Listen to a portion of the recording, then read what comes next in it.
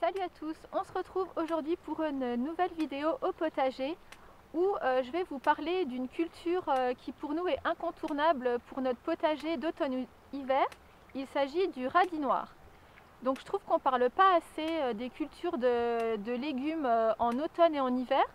Donc c'est pour ça que je vais vous faire cette vidéo qui me semble intéressante déjà de par la culture en soi du radis noir et aussi euh, pour les, les bienfaits euh, qu'il euh, qu'il peut procurer. Donc ici on a une ligne de radis noir, donc ça nous suffit amplement pour notre famille de trois personnes. Donc on, on a réalisé ce semis fin août et ce sont des semences issues de, de notre propre récolte.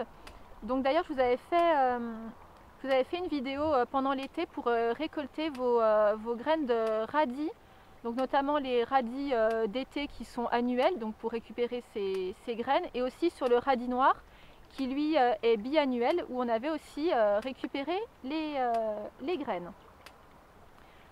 Donc voilà, donc pour nous vraiment le radis noir c'est une culture plutôt facile.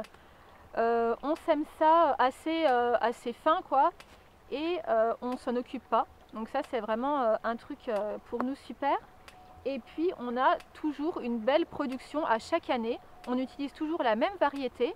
Donc c'est euh, les euh, ronds noirs d'hiver. Et euh, vraiment on n'a aucune difficulté. Voilà, je vais vous en montrer un pour voir un petit peu ce que ça donne.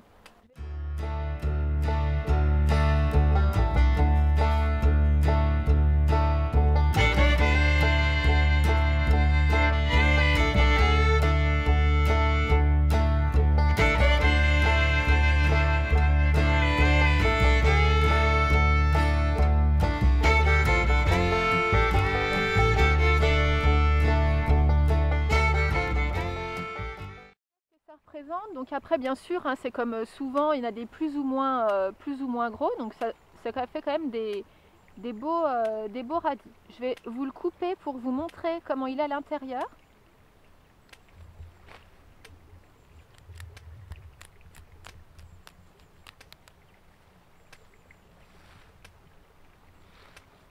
Donc voilà, donc il a une chair, une chair blanche très ferme et il est très parfumé.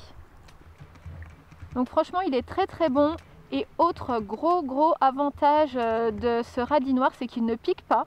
Nous, notre fille, elle, en mange euh, sans problème.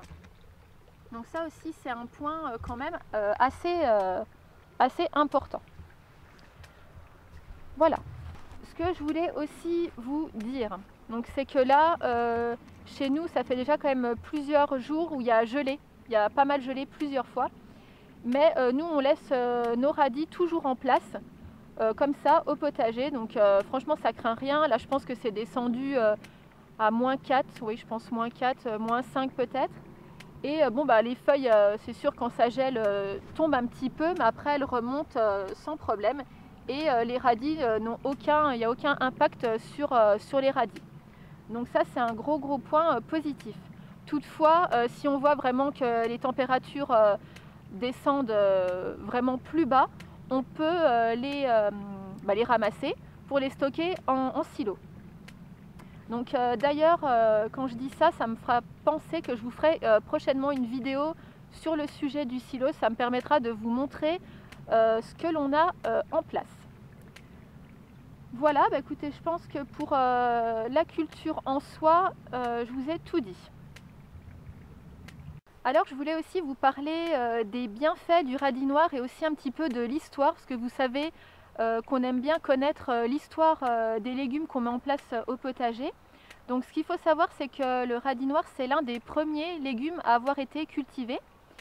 Et en Chine, par exemple, ils utilisent le radis noir depuis toujours dans la médecine traditionnelle, pour surtout la digestion, pour favoriser la digestion. Qui est aussi euh, hyper intéressant à savoir, c'est que le radis noir, euh, tout comme par exemple le chou kale, contient du calcium. Donc c'est pas euh, que dans le lait que l'on peut croire qu'il y ait du calcium. Dans aussi certains légumes, il y a du calcium. Et le radis noir est aussi antiseptique, antioxydant et antibactérien. Donc voilà, il y a beaucoup de bienfaits.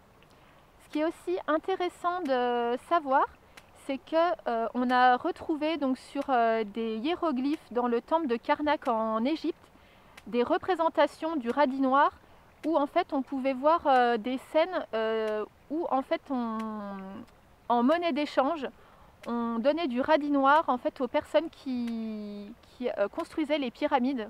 Donc si au temps des Égyptiens et des pharaons ils cultivaient déjà les radis noirs, je pense que voilà, on peut aussi en cultiver. Je pense qu'on est sur la bonne voie.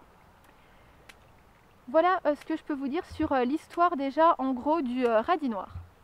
Euh, je ne sais pas si ça s'entend euh, dans la vidéo, mais euh, derrière moi, en fait, il y a le, fil électrique qui claque du voisin, donc pour les chevaux. Donc je ne sais pas si ça va s'entendre. Si ça s'entend, eh bien, j'en suis navrée.